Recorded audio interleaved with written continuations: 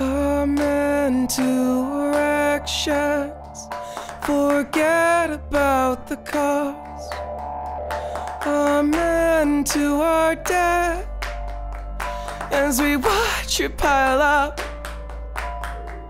Amen to our banks for keeping it from us. Amen to each bill.